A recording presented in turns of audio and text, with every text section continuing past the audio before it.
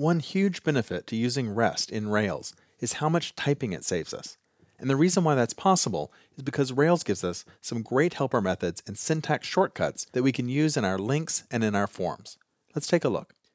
Now that our Rails application can understand the new RESTful syntax, we'll need to modify our links and forms to make requests using that new syntax. So instead of having a hash with a controller, an action, and an ID, we can now use the much shorter subject path and then the ID as an argument to that helper. It saves us a lot of typing. Let's take a look at all the helpers.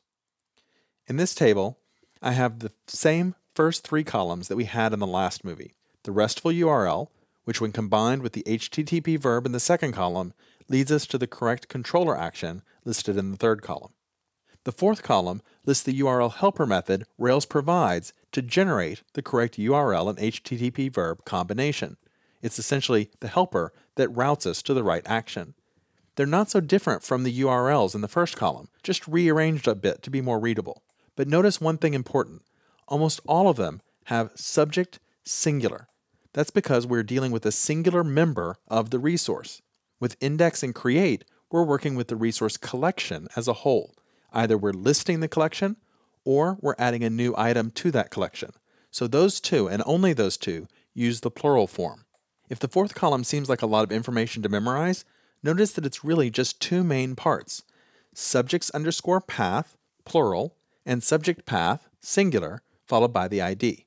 The three remaining helpers for new, edit, and delete are really just exactly like the helper used to get to the show action, except that they have new, edit, and delete in front of them, the same way that the resulting URL will have new, edit, and delete stuck at the end. Remember that those three are just convenience actions. They're just making GET requests to get that information back again, the same way that the show action does. We're just displaying it in a different format this time, that is, as a web form. Also remember that delete is one that I added in my customizations. It's not built in by default. To see how these work in practice, if we wanted to have a URL that went to all of our subjects, we would just have a link to and then the target would just be subjects underscore path, and that would take us to our index page for all of the subjects. If we wanted to show a particular subject, we would use subject path followed by the ID of the subject we wanted to show. If we wanted to edit a subject, well then we would just use edit subject path followed by the ID. See how that works? We just stuck edit in front of it.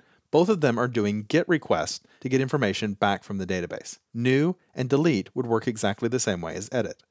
If we had additional parameters that we wanted to pass into our URL, often we want to pass information like the page or the sort order, you would just put those as a hash as the second argument to your helper method. So right after you have the subject ID, then any other parameters that need to be passed into that helper would be included. And those would all become part of the URL string. So that takes care of links. But what about the forms? They all used post by default, right? We need to tell our update and destroy forms that they should be using patch and delete instead of post. To do that, you just add an option to your form to specify that the HTML method should be patch or delete. Pretty straightforward, but that's become quite a bit of typing. And once again, Rails gives us a shortcut, which is just to simply pass in the object to form for. If it's an unsaved object, then Rails will create the form to post it to the subject's path. If it's an already saved object, then Rails will create this form to patch it to subject path at subject ID. But that shortcut only works for post and for patch.